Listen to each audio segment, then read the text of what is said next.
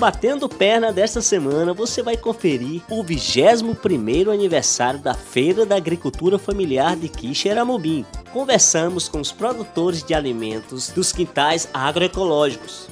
Você vai conhecer todos os produtos que a feira oferece como tem transformado a vida de várias famílias e como se tornou uma feira de referência do nosso estado. Você vai conferir tudo isso e muito mais no Batendo Perna desta quarta-feira, às 21h30, aqui na sua, na nossa Sertão TV. Feita pra você! Vem bater perna com a gente!